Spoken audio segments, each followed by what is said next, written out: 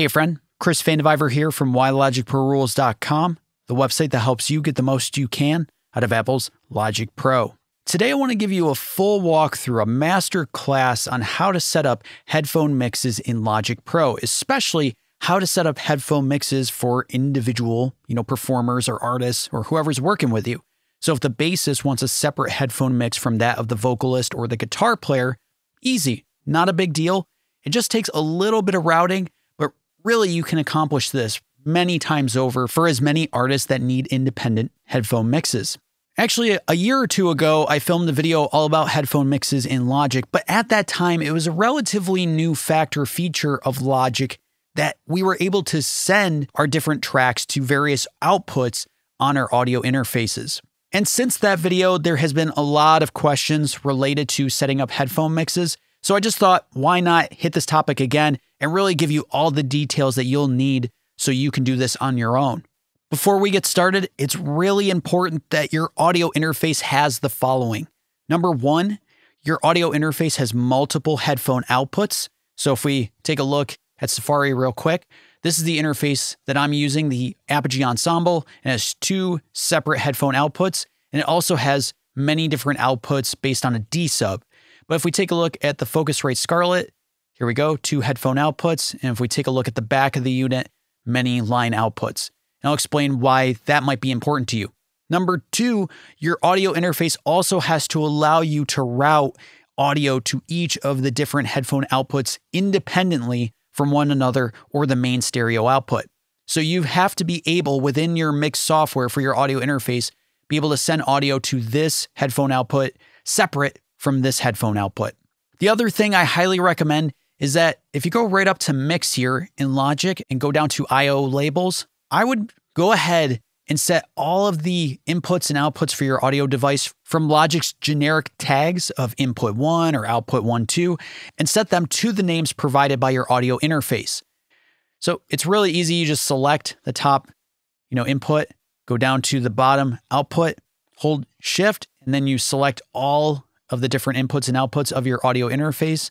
If you just click the radio button right in the provided by driver, you'll be able to switch all of the labels to a much easier and recognizable way of navigating the different outputs of your audio interface.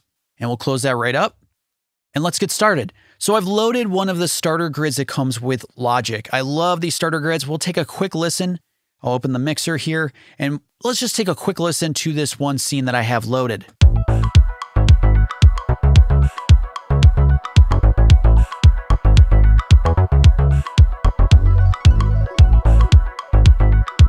Nothing too crazy. Now, if we want to set up a headphone mix for the two independent headphones that I have on my Apogee Ensemble, again, one and two, it's really simple. We're going to select the first track in the session and we're going to go all the way to the end right before the stereo output in the master channel strips. I'm going to hold shift and click. Now we've selected every single channel strip. This includes all of the instrument tracks, all of the MIDI tracks, everything and also any auxiliary channel strips that are for reverb, delay, or parallel effects. In the next open send field for all of the channel strips, we'll click, go to output, go to stereo. In this case, I'm going to set output 3-4 for the first headphone. And we can see a channel strip has been created for output 3-4. And we'll do the same thing, go to output, stereo, output 5-6. Now, the Apogee Ensemble software labels these different outputs as playback 3 4, playback 5 6, your audio interface might be different.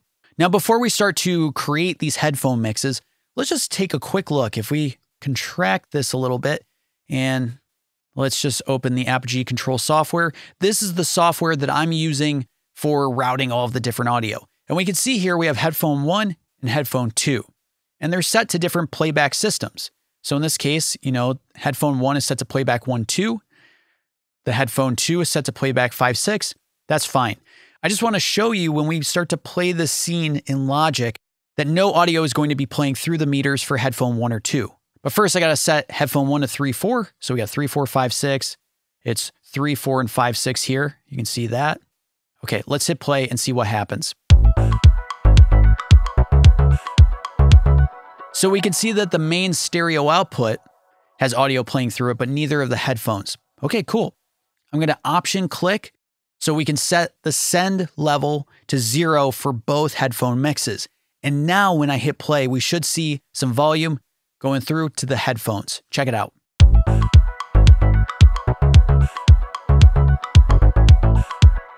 Awesome. Now, you may notice that the level is different for the headphones as compared to the stereo output. There's a reason for this. Now that audio is passing through to our headphones, all of the plugins on the stereo output are not in the chain processing the entire mix. And that's why the level is slightly quieter. Now, to be honest, you don't want things like the multipressor or the limiter to be in the signal path in your session when you're recording because they introduce latency. But, you know, just to demonstrate the fact that this is the reason why the levels are different, I'm just going to quickly copy and paste all of these plugins to the headphone outputs. Okay, now if we take a look at the meters in all directions, let's play. Now, the biggest question when it comes to headphone mixes is whether you should be pre fader or post fader. And what that means is if we click on the send fields here, we can set our sends either to pre-fader, post-fader, or post-pan. We're just going to focus on pre-fader and post-fader. At the moment, we're in post-fader mode. So any adjustments made to any of these faders in the mixer will have an impact, will be audibly heard in the headphone mixes. And in fact, I'm actually recording playback 3-4 directly into the Apogee Ensemble so we can hear the headphone mix independent from the main monitor mix. So let's check that out right now. I'll actually adjust the level of the kick as we listen, and you'll hear that in the headphone mix.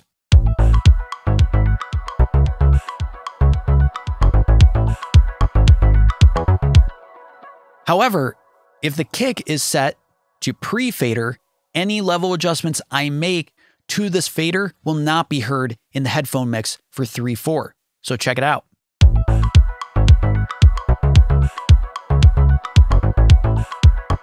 So we can see that there's no kick signal in the main monitor mix that the engineer, the person that's manning the computer, would be able to hear.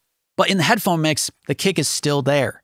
Pre fader mode is perfect when we're trying to create an independent mix for our artists and performers. We select all of the tracks, and I'm just going to go here and I'm going to set both headphone mixes to pre fader. Now, any sort of fader adjustments that have been made in the mixer will have no impact on the headphone mixes. So if we listen, things are going to sound a little different in terms of the tonal balance, the balance of the whole mix. Take a listen.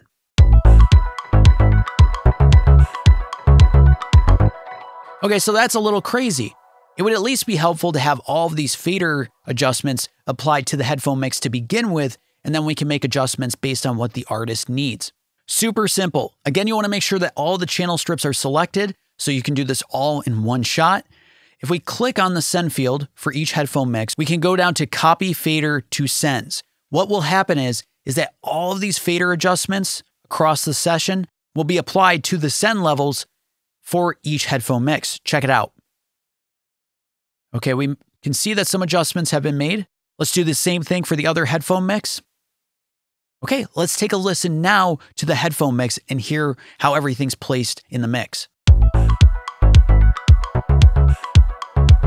exactly as we have heard it through this video so far.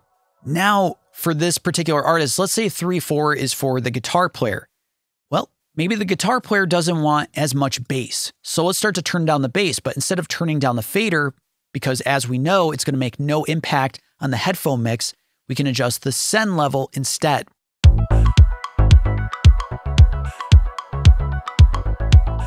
And maybe we want more ambient keys.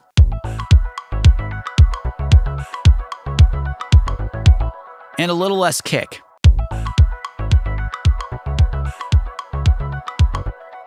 Awesome.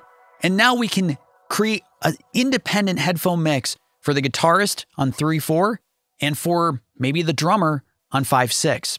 So let's make some adjustments right now. We'll just, you know, randomly adjust a couple just to say we did. Cool. Now we have two separate headphone mixes for each artist or musician. If you feel that using the send dials is a little claustrophobic, it's not as fine resolution as using the faders, that's easy. You can just go to sends on faders right in the top of the mixer, click the power button, And then from the drop down, just select the appropriate output.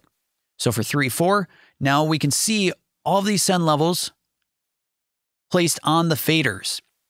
And we can adjust the levels using the faders or the send dials. If you don't see sends on faders at the top of your mixer, it's probably because you have a smaller screen. Easy. Just click on the appropriate send field and go down to sends on faders. And then you can have sends on faders available to you across the mixer. And you just go back to the send field and turn it off when you need to. Now, a big question is, is how do you work with reverb and delay sends? How do you set a specific reverb amount for one artist but not the other? Well, let's solo the snare. And then I'll go right up here to single. And now we can see only the routing applied to the snare track. So we can see we have reverb if we want to use it. We haven't dialed up any reverb or delay yet for the snare, but let's do it right now. Let's dial up full blast of reverb to the reverb channel strip for the snare. Take a listen.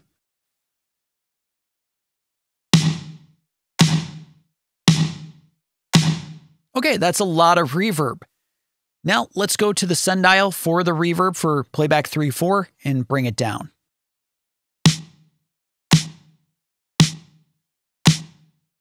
Awesome. And we can even adjust the fader for the overall reverb for the main monitor mix because it's probably quite loud there too. And maybe our drummer really wants a ton of reverb because he just loves it on that snare drum. And this would be applied to the other headphone mix that we're not recording at the moment. But just like that, we've adjusted the level of the reverb for the snare for three independent mixes the main monitor mix across the faders here for headphones one and two. I'm going to now unsolo. We'll go back to the full view of the mixer. The other question is, is let's say that you are manning your Mac and you are the person in charge of the recording session.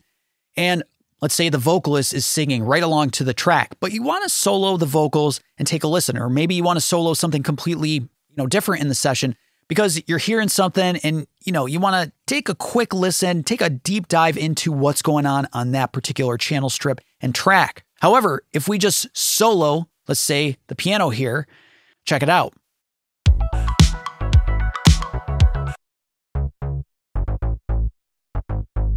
This is going to be a problem because the vocalist is trying to sing along to the session and the moment that you solo a channel strip is going to take them completely out of the song and mix so if we go down to our stereo outputs here, and we go to 3 4, I'm going to hold control and click on the solo button.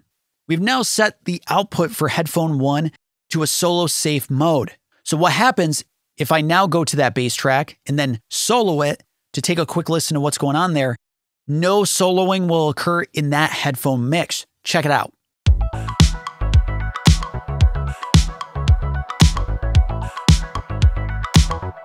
But if we take a listen to the main monitor mix, all we're going to hear is just the bass.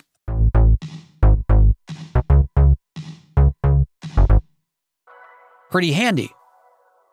Again, just control, click, solo safe those headphone mixes to ensure that you don't accidentally take that artist out of the mix as they're trying to record and perform.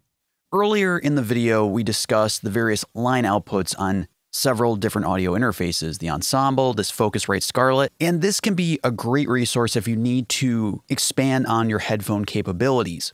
Logic can supply up to 12 sends on each channel strip, so that's about as many headphone outputs as you can have, but we need an audio interface that can supply us with, you know, up to 12 headphone outputs. Now, like we mentioned, the first two headphone outputs are available on this particular unit for us to route. And on the back, we have these line outputs, meaning we can introduce a separate headphone amplifier to send out the remaining sets of outputs to other headphones. Outputs 1 and 2 would be for your speakers, so they would be accounted for already.